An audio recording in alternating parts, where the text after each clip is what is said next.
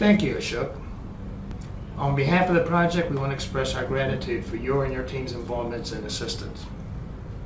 Everybody, welcome. Welcome to this presentation of Oracle's NoSQL Database Maximum Available Architecture, MAA.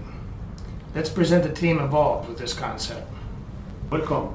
I'm Stéphane Duprat and I've been working with relational databases for almost 25 years. Hi, I'm Denis Federico.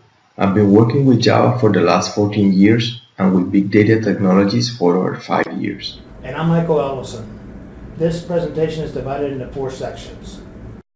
The use case, the project where this concept was conceived, why MAA, why reliable data, how it works, and a brief demo. This solution came from a real client's use case.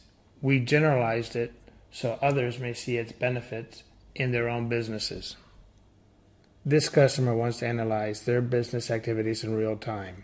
Anyone in the retail business or in the logistics sector can understand this need.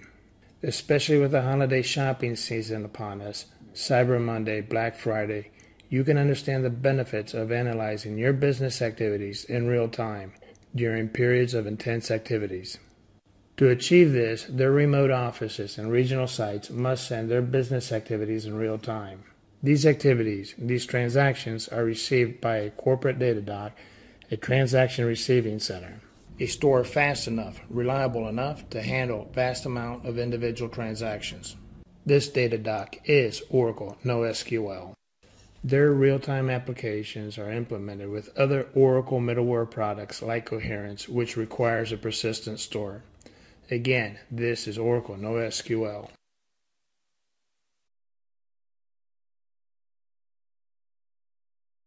Whenever you incorporate a new technology into your data center, you obviously study its featured functionalities. You must also study its compatibility to keep your business continuity.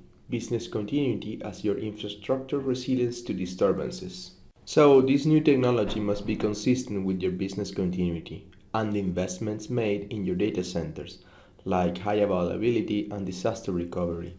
You cannot afford to introduce a weak link that could increase your system's susceptibility to outages or data loss.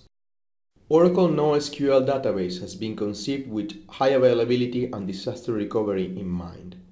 The maximum availability architecture is a blueprint of the best HA and DR practices based on expert recommendations and customer experiences.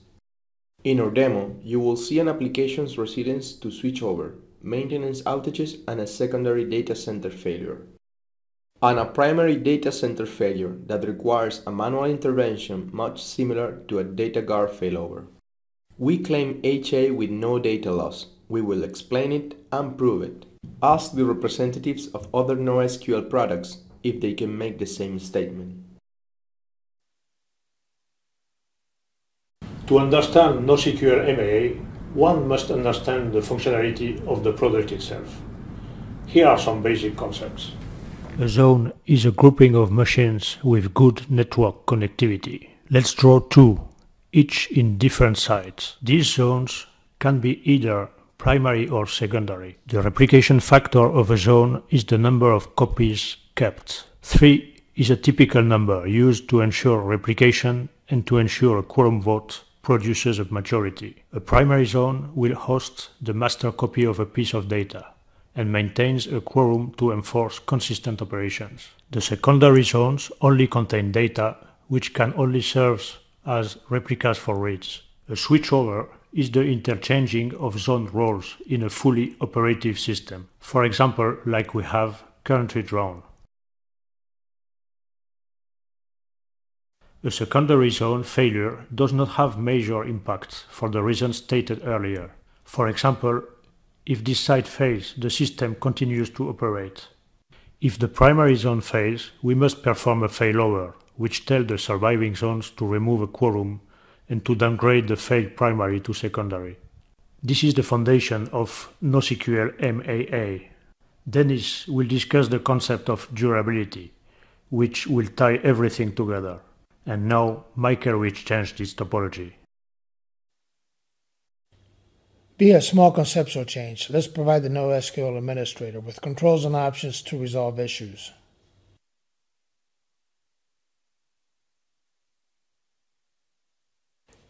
A zone is a logical construct which aggregates physical elements. Let's split these zones with RFs of 3s into three zones of RFs of 1s. All this is done by dividing logical constructs.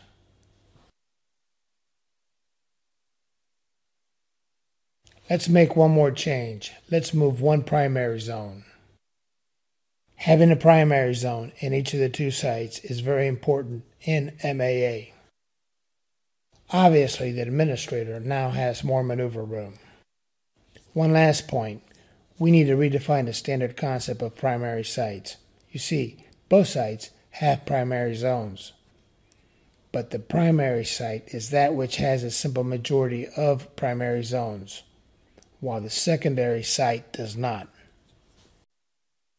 The durability of NoSQL can be compared to committing a transaction in an Oracle database by writing into the redo logs. The application does not receive an acknowledge from the KV store until the desired durability is achieved. There are three levels of durabilities in terms of acknowledges. Let's see with our example where we have a replica factor of 3. With an all replica acknowledged durability, all three replicas must acknowledge the received the data. With simple majority, at least two replicas must acknowledge to meet this condition. And lastly, with no ACK from replicas, only masters participate, but we don't include this in the maximum availability architecture.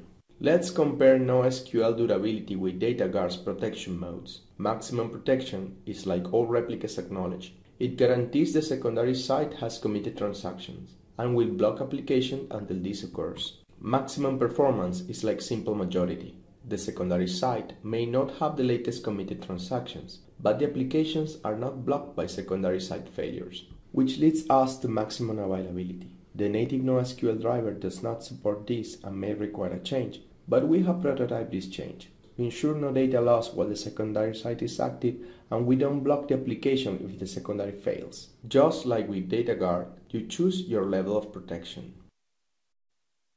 Okay, let's have a look at our four topologies. In the name of each topology, the capital letter represents the primary site, as defined earlier by Michael. A lowercase letter indicates that the secondary site contains a primary zone. These are the standard topologies for business as usual. And these are the topologies for planned or unplanned outages.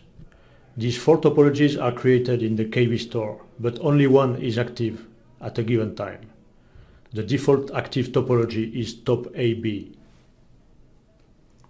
Now, let's explain a seat switchover. We plan an outage on site A. Therefore, we execute a switchover from top AB to top B. The animation shows how some zones are switching their type.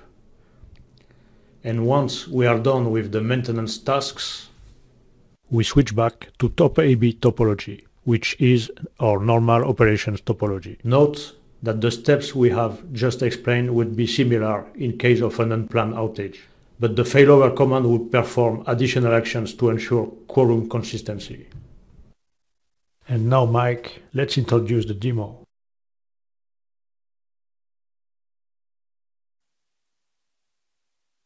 This demo is based on an actual deployment of two big data appliance starter racks, each in separate sites.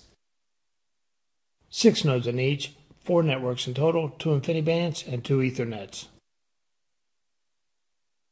This demo simulates two sites, four networks, but only half the nodes, six.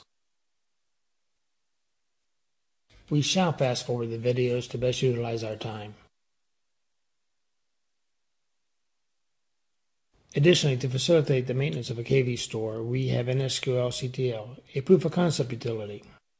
Here's a quick overview. With a minimal amount of setup, you can create, start, stop, remove, switch over, failover with a single command in the entire KV store cluster. The network and host sections will configure the etc host files in the entire cluster, ensuring proper traffic in each of the networks. This topology set is created with each of the KV stores. The prime topology defines the structures and the zone types, while the additional topology only reconfigures the zone types. These are the four topologies mentioned by Stefan.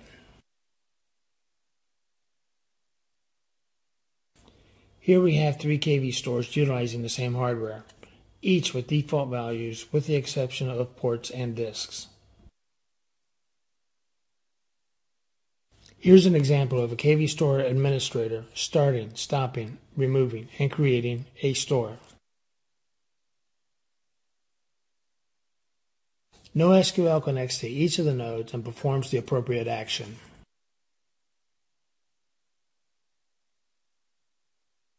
For further information concerning NSQL CTL, this prototype utility, please contact Ashok. Let's say you have a planned outage on your primary site for the weekend.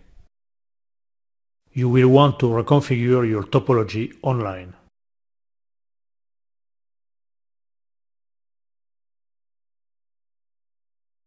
We will switch over to top B for the weekend and then back to top AB, all the time keeping the application running.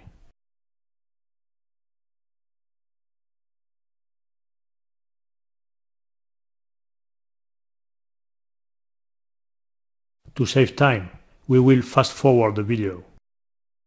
Notice how the VirtualBox machines are shut down and restarted.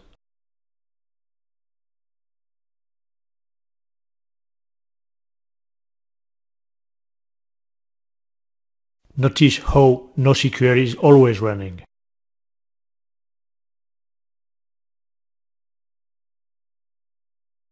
Now let's verify the rows processed by the application and compare it to the rows in the KV store. We query the KV store row number from both sides and compare the results with the number of rows inserted by the application. They match. We have just reconfigured the topology twice online, and that was transparent to the application.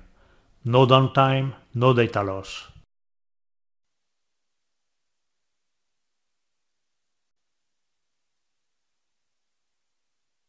In order to easily compare the counts, we will stop the KV store, remove it, and recreate it.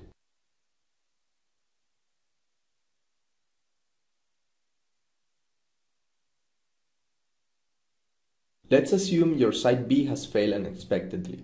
You will notice how the application drops from maximum protection to maximum performance.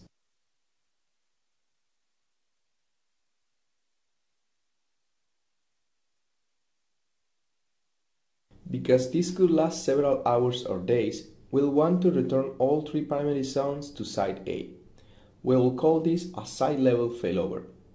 NoSQL control will launch all the appropriate commands.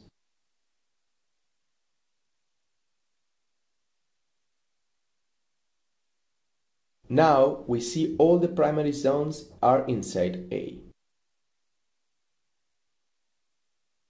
Notice that the application returns to maximum protection.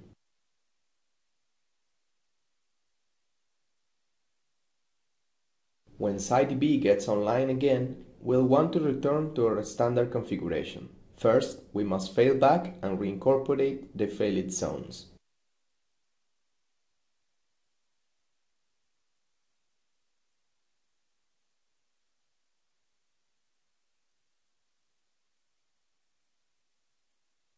Note that all the zones are active again. Now we switch over to site A.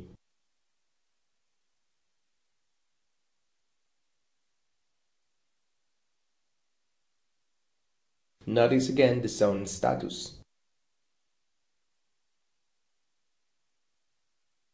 Let's compare counts once more. No data loss, no application outage, and we are back in business, as usual. We hope you enjoyed this presentation. We've explained Oracle's NoSQL maximum available architecture and demonstrated it. We proved it. Dennis, Stefan, do you have any closing remarks? Oracle provides a NoSQL solution that complements your Oracle Database DataGuard solution with no data loss. Oracle provides transparent, no data loss and no service loss features in its NoSQL solution, as we have demonstrated. Can any other NoSQL products make this same claim? Oracle NoSQL database. It's big, it's fast, it's reliable. It's worthy to be in your portfolio and you can trust it in your data center. Enjoy the rest of your visit here at Oracle Open World 2015.